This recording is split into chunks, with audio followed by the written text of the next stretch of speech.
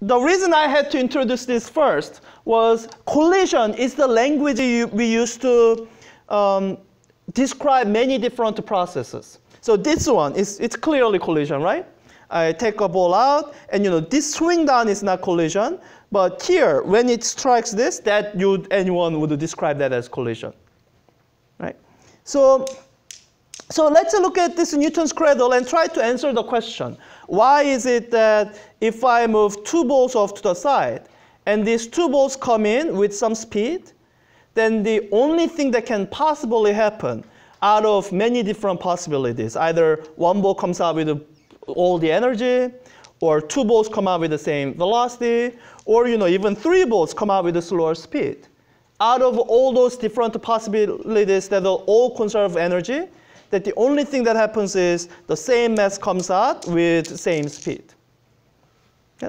So, so you know, let's uh, since I you know use that to introduce conservation of energy and momentum, let's uh, you know wrap that up before we move on more.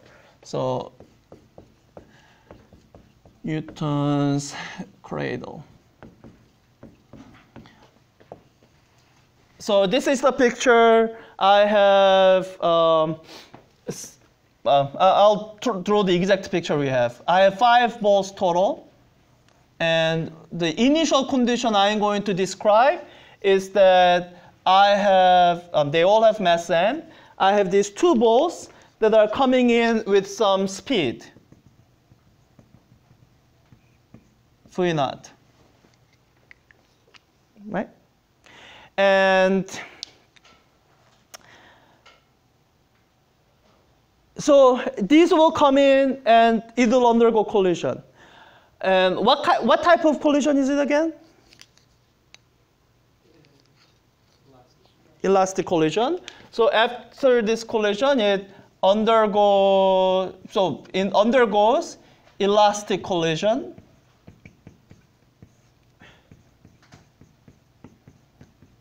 And what we are looking for is all right, after they undergo elastic collision, what should happen next? So um, we have different possibilities. So if this is the before picture, let me sketch out the after picture. So after picture would be um,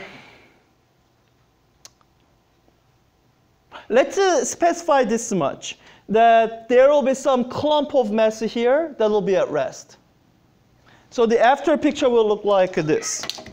Now, I will have some amount of mass here that's going to be at rest, right? And I will have some other amount of mass here that's going to have some final velocity. Good. Um, and I guess if I want to make sure I didn't underspecify the problem, then no, I don't think. Okay, I, I think I can just leave it here. I don't think I. I mean, you know, this is true. M1 plus M2 is 5M, but I don't think I need to specify that. So I will write, I have written it down, but I probably won't be using it. So this is the question that I'm trying to answer. This is the sort of mathematical way to state the same question I've been asking like five, ten times now. um, so in this collision, how many masses should be coming out? And what should be the speed of those masses that are coming out? All right, and you know the masses that are coming in had a mass of 2m. All right, so um, let's try to answer that. Uh, what tool do we have to try to answer this question? Hmm? Uh, well, I'm not going to do the, I've done the experiment many times, so you've seen it. I want to do this analytically, theoretically. So what tool do we have to try to answer these two questions? What problem solving tool do we have? So when you say standard strategy, you mean um, a force problem, right?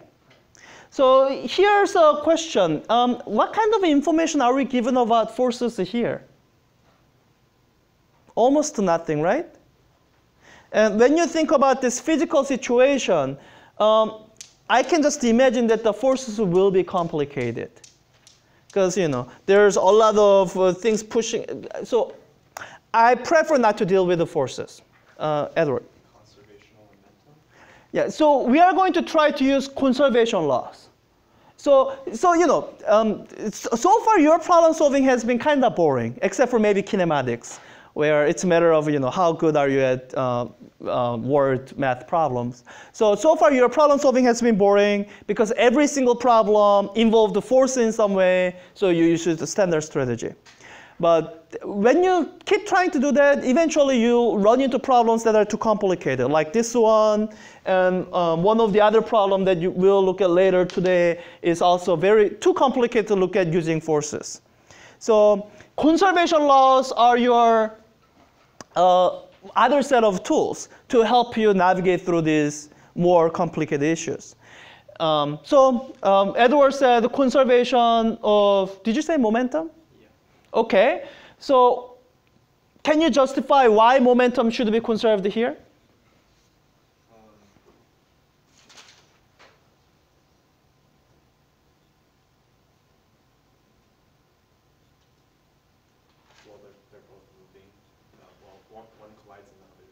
That's not the condition for conserving momentum. Yeah? There's no net external force. Uh, as these two things collide, um, so there's tension and there's gravity, uh, but there's tension and gravity, but they balance each other out in this position. So we could say that as these two things collide, that um, that you know the net external force is zero. But here's the thing: uh, you are going to see us do this later. That when two balls are, let's say, colliding in space, so uh, and you know, so right now I'm holding that, but imagine there are projectiles. So like this is dropping and this is coming in and hitting something like this. And even then, we are going to insist that we can use conservation of momentum.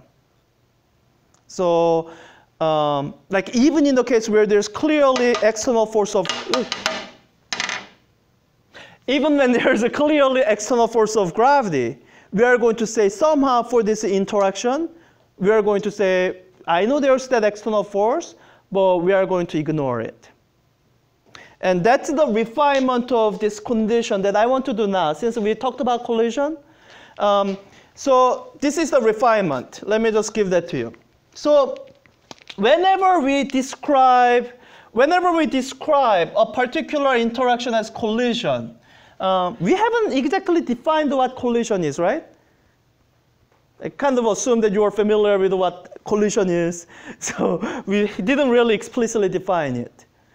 Um, but you kind of have a sense that when you see an interaction like this pendulum motion, that that's not a collision, right? And you have this kind of sense that as this comes in, this um, not so this portion isn't collision, but this portion is collision right? So what one feature would you, other than you know two things strike each other, what would you use to say one is collision and the other is not? Because you know if it's a matter of things striking each other, like um, so I've been describing this as collision, right? Um, these two, you know, colliding. Do they actually strike each other? They don't. But I'm still, for some reason, trying to describe this as a collision. Um, in this case, they actually attract each other, but I'm going to call this also a collision. Right? So, yeah, I don't have a limited amount of time. So, what um, the one parameter that's going to be important in me in me being able to describe something as collision is that it's going to be limited in time. Limited in the duration of time for the interaction to take place. When you think of this pendulum, the interaction between my hand and the pendulum, it can potentially go on forever. for an unlimited amount of time delta t. Whatever interaction we are going to call collision, it's going to have a limited amount of time duration. And um, this is what we are going to say. We are going to say it's limited in time so much that for whatever interaction we are describing as collision, we are going to say this amount of interaction time, it's negligible. It's practically zero. It, so whenever we refer to something as collision, that's an approximation we are making. In fact, uh, one of your homework problem involves uh, like gravitational slingshot or something like that. And the gravitational interaction between a satellite and the planet, it doesn't involve anything striking anything. And it actually takes a fair amount of time. But when we describe this collision, we are saying that interaction time is so short, um, it's limited enough that I can just uh, collapse all of the interaction with a single moment, do it that way. So this is, uh, this is something that I want to tell you.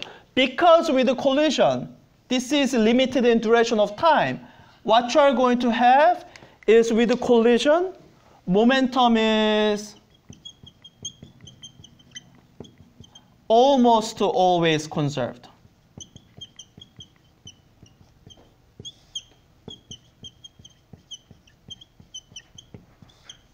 Momentum is almost always conserved in a collision. In fact, if you consider momentum of everything that's interacting, then you can say it's conserved. So for example, you know, when you look at the example of this, uh, this um, golf ball striking the wall, Ooh, I don't know if I want to do that. I've never done it. With the wall, yeah, I think the wall is not strong enough. Let me do this with a tennis ball. so, you know, when I have this tennis ball striking the wall, then uh, momentum of this tennis ball is clearly changing, right? But if I include the momentum of everything, the wall, which is attached to the building, so the building, which is attached to the earth, so the earth, then total momentum of everything interacting is conserved. So, and this is something that we would describe as collision. So if we include all the interacting objects, then we could even say this. Momentum is always conserved.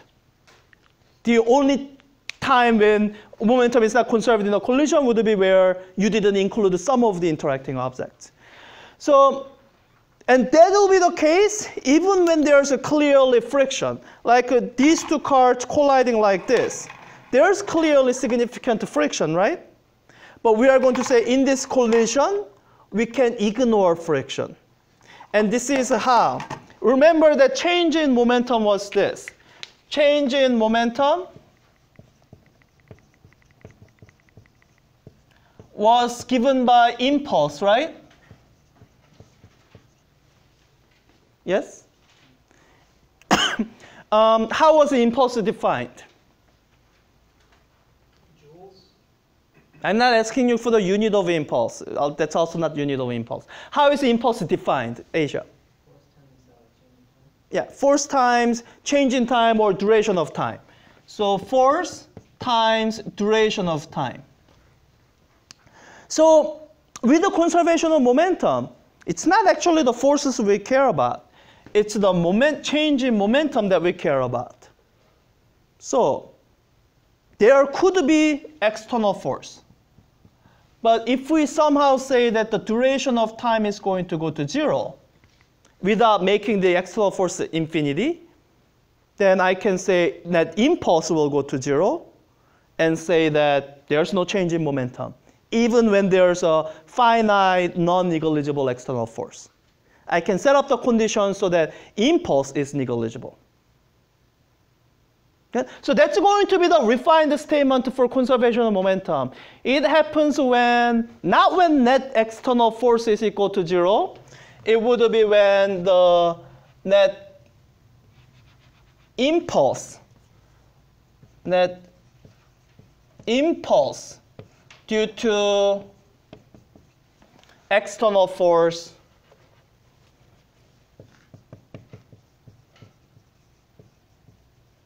is equal to zero. Okay? Um, I, and there's some symmetry with this because here we were worrying about net work, which changes energy, and here we are worried about the net impulse, which changes momentum. So, um, so you know, all of this to justify that whenever we say collision, momentum is conserved. You can kind of assume in all these different types of collisions, momentum is conserved. You can take that as given. So, all right, so momentum is conserved. What else is conserved? In this question. So, uh, so let's say I'm going to use conservation of momentum.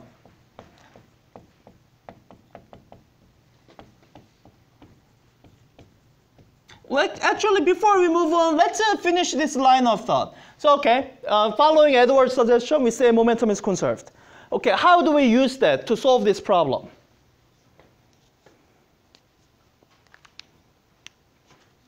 Like, how do you use conservation laws? Uh, we've done the first step. The first step is you identify conserved quantity and you know, check for conditions to make sure, yes, it is conserved. So we identify the momentum. We check for these conditions to say, all right, momentum is going to be conserved. Once you've done that due diligence, then now you have to finally start you know, writing down some mathematical expressions. What um, type of math, um, so how do I write down whatever equation I'm going to write down? Like what quantities am I doing? Yeah, Abdi?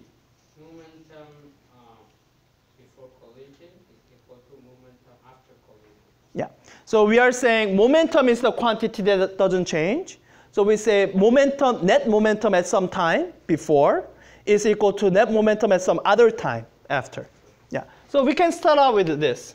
Say that the sum of the momentum before collisions is equal to sum of momentums after the collisions. All right, let's uh, write it out. The total momentum before collision, it would be this mass times this velocity, right? So it'll be 2m v naught is equal to uh, final moment, final picture after collision. So here there's no momentum, right? I'm just said, you know, some part of the mass will stay at rest, and some part of mass will shoot off. So it'll be this mass times this velocity. So m2 times vf. All right, so here's an equation that hopefully we can use. So here's the question that you should always ask before going any further in solution. Um, do I have enough information? Can I solve this for the quantities I want in terms of completely known quantities? How many unknowns do I have here? I have two. I don't know this mass. I'm trying to figure that out. I don't know this speed. I'm trying to figure that out. So two unknowns, one equation. I don't have enough information. I need to find uh, more information. And in terms of problem solving, that means I need to look for more equations that somehow relate to these and you know won't be introducing any more unknowns. So Arjun, what other condition do we need?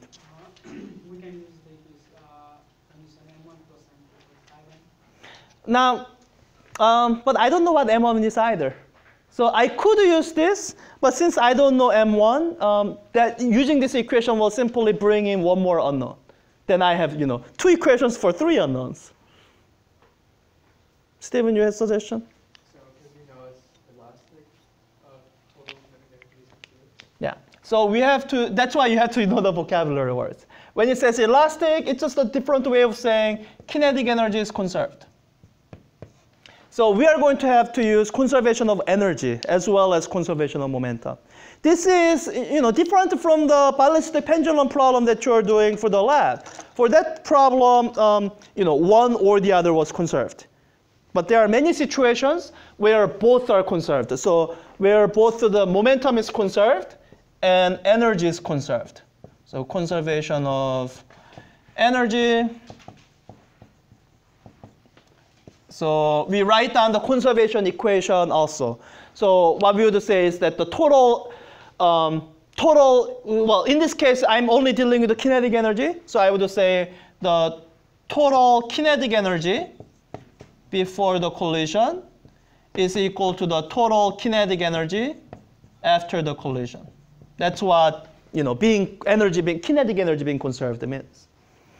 All right, so um, let's write that down. So before the collision, uh, I have 2m moving at the speed of v naught. What was the formula for kinetic energy?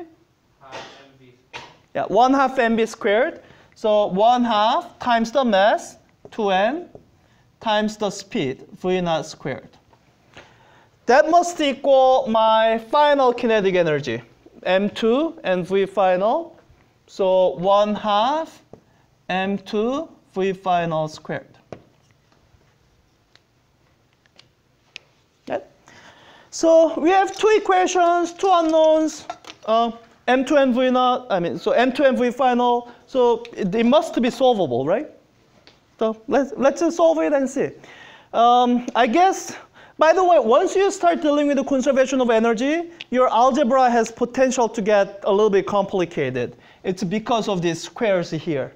So you want to do, take care when you're doing algebra, you know, try to avoid the situations where you have to use quadratic formula.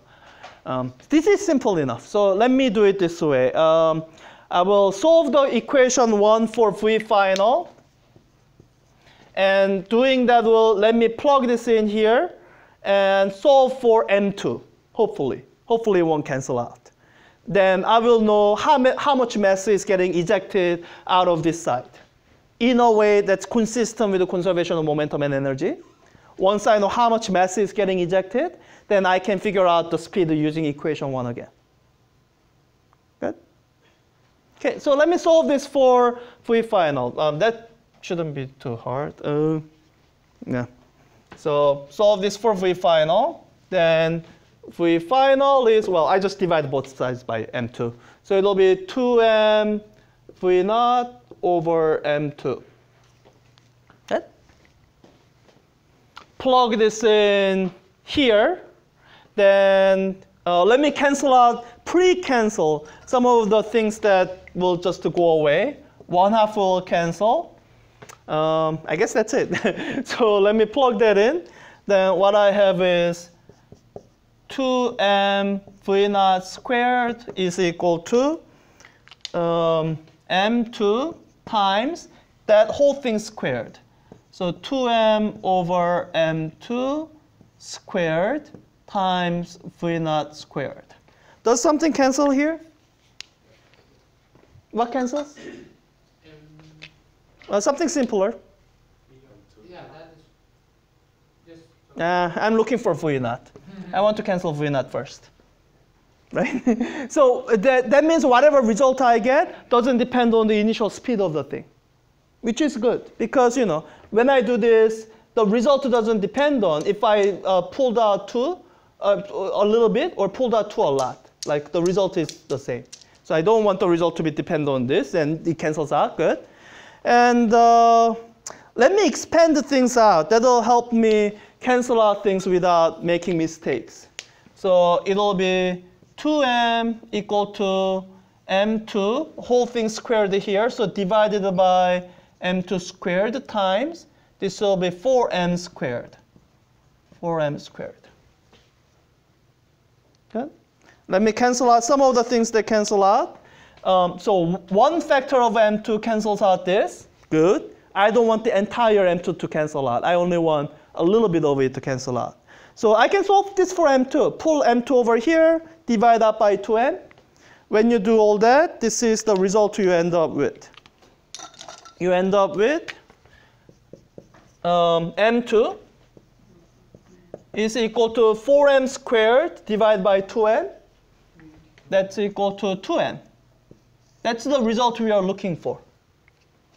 That in this interaction, in order to conserve both energy and momentum, the only amount of mass that can come out in this collision is two masses.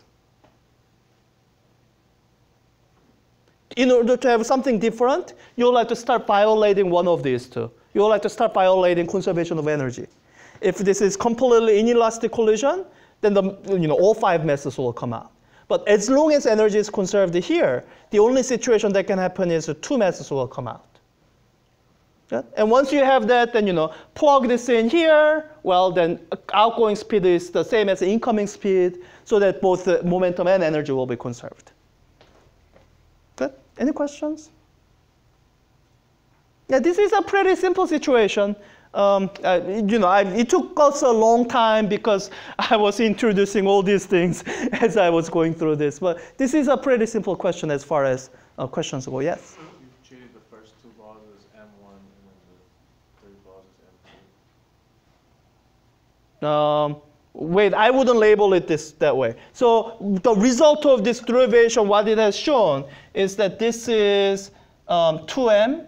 So that means this must, the masses that are not moving must be 3m. This is the after picture. I don't want to confuse my after picture with the before picture. Good. Okay, any questions? Okay, um, so that's it. Um, it's a pretty, so, wait. No, this is not the, uh, I guess we did one other one in the lecture before. This is your second example where the physical process conserves both momentum and energy.